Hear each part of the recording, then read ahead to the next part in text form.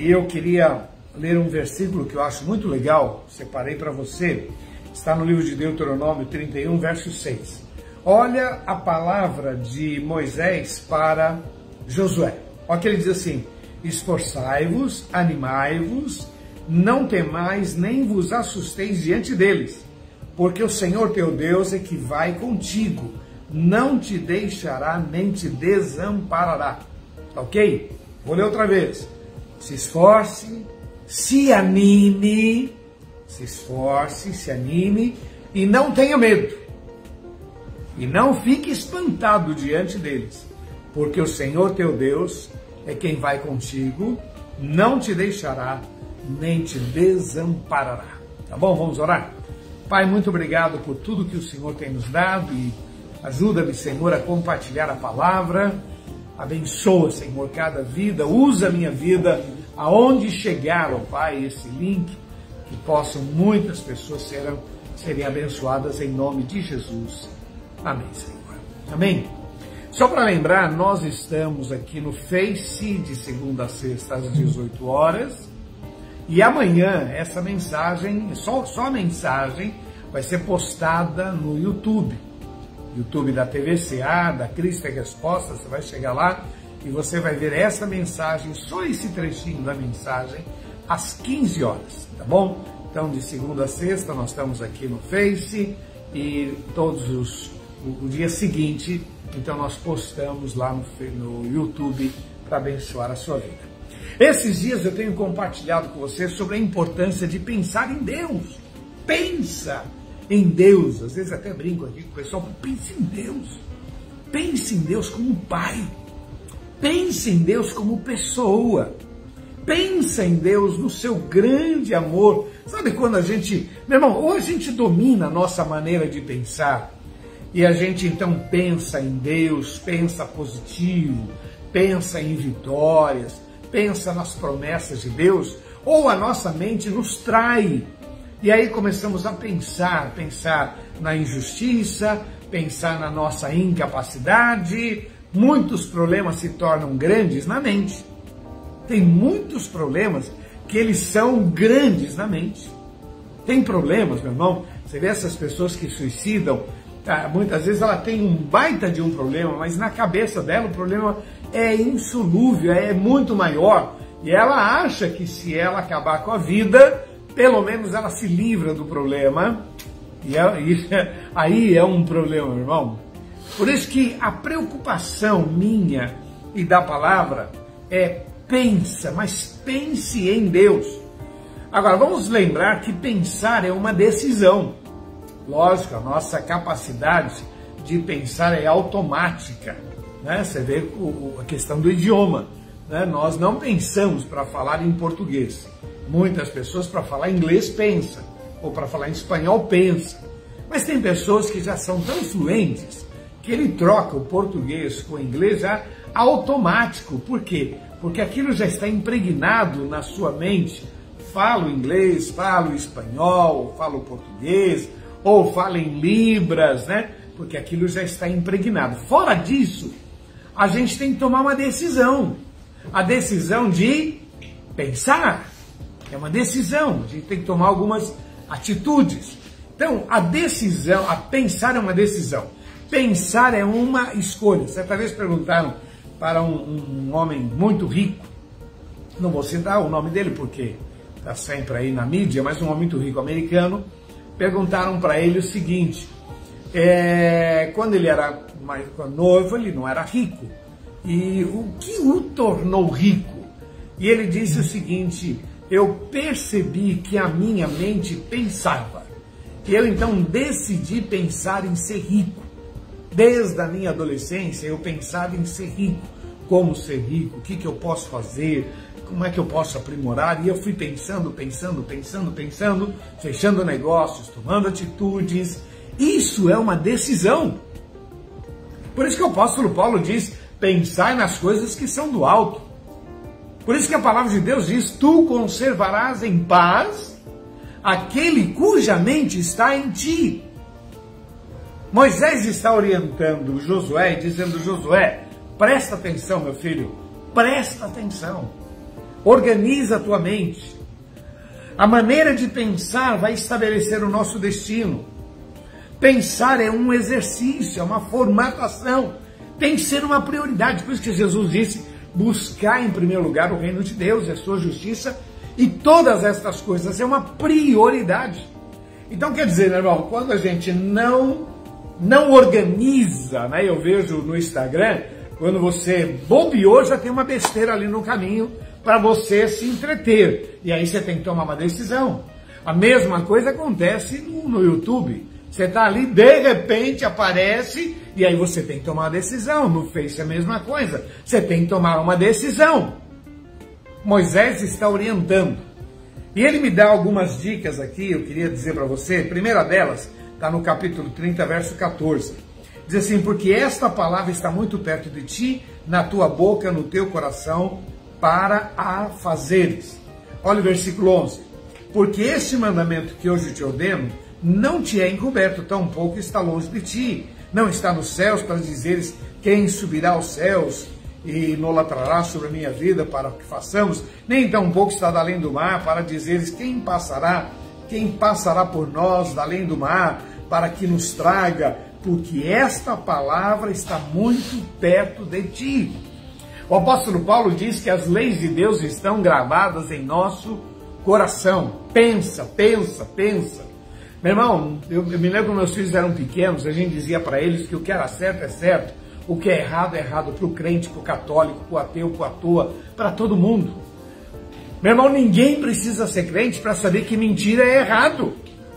Ninguém precisa ser crente para saber que a falsidade é errado. Que as más conversações corrompem os bons costumes. Ninguém precisa ser crente para entender que adultério é errado, prostituição é errado. Por quê? Porque essas leis estão gravadas no nosso coração. Deus gravou no nosso DNA. Nós sabemos. A diferença é que quando a gente tem Jesus, a gente tem o Espírito Santo. A gente, pô, tô errado, tô errado, tô errado, eu vou confessar os meus pecados, eu tô errado.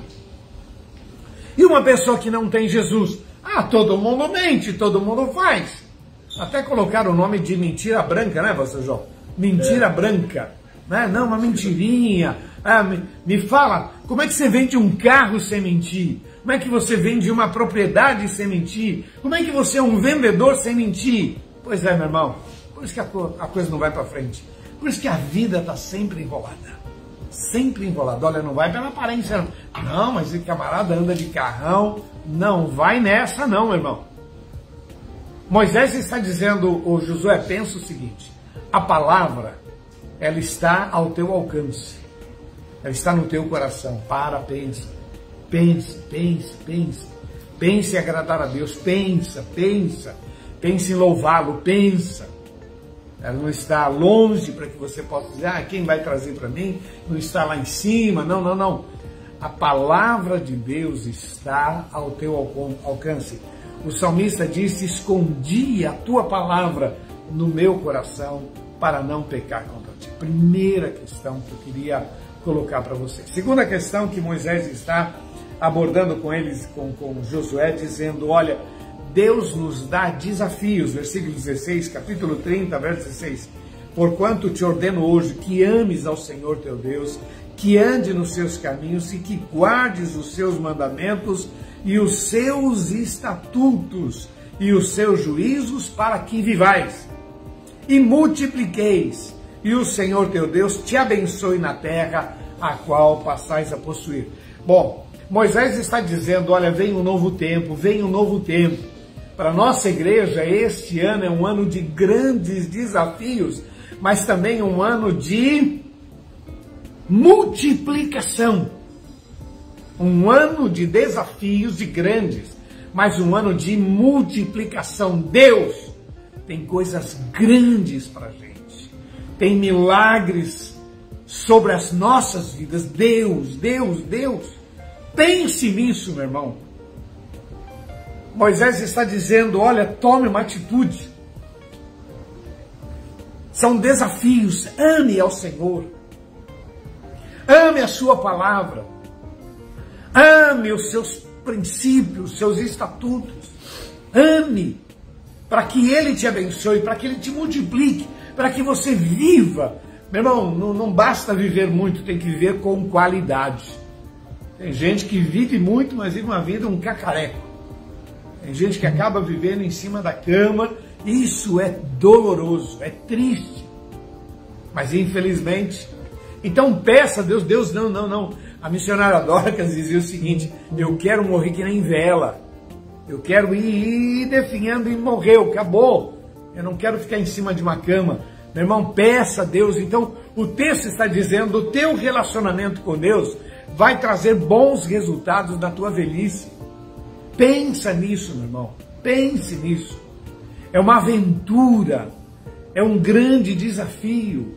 Olha a advertência que ele faz aqui no verso 17 Porém, o teu coração, se o teu coração se desviar e não quiseres dar ouvidos e fores seduzidos para aplicar, para inclinares diante de outros deuses e servides, então vos denuncio. Olha, Moisés está dizendo, pessoal, não pode, não pode. Pense nisso. Temos um Deus que cuida das nossas vidas, que nos ama, que tem o melhor para a gente, em nome de Jesus. E a última questão que eu queria deixar para você está no versículo 19, ele diz assim, porque o céu, capítulo 30, verso 19, os céus e a terra tomo hoje por testemunha contra vós, que te tenho proposto a vida e a morte, a bênção e a maldição.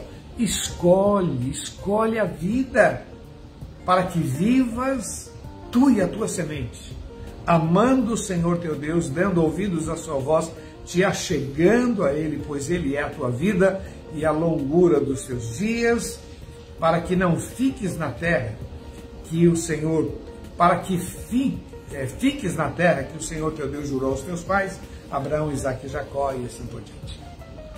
Meu irmão, há uma advertência muito grande. Pensa, pensa, pensa, pensa, pensa. Pense em Deus, louve o Senhor, exalte. Sabe, reconhece-o em todos os teus caminhos. É um exercício, meu irmão.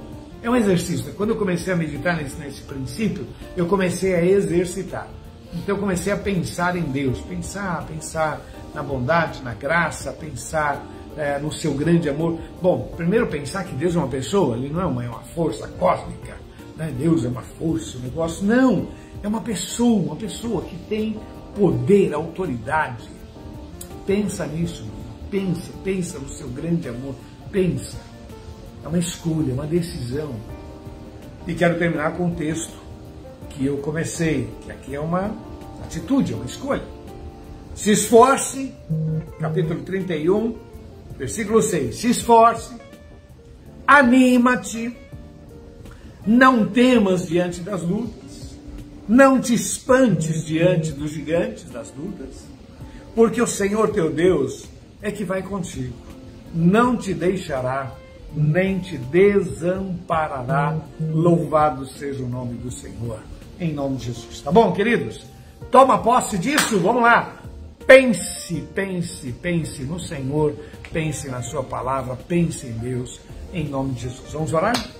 Pai, muito obrigado pela Tua palavra e muito obrigado por poder compartilhar e desafiar esses irmãos, ó oh Pai, a coisas novas, a novas atitudes. Senhor, confirma tudo isso com sinais, prodígios, milagres, portas abertas. Nós precisamos de Ti e sempre te daremos toda a honra e toda a glória. Muito obrigado, em nome de Jesus. Amém. Glória a Deus, queridos. Olha, se você ainda não aceitou a Jesus como Senhor e Salvador, eu quero convidar você a fazer isso agora. Por isso que é importante você passar o link para os seus amigos, porque tem pessoas que confessam Jesus aqui na live e é muito importante isso, porque é Deus quem vê, né? Se você quer aceitar a Jesus como Senhor e Salvador, repita uma oração comigo, por favor, e depois eu vou orar por você. Feche seus olhos e diga: Senhor Jesus, eu quero o Senhor na minha vida. Perdoa os meus pecados, muda a minha história, em nome de Jesus.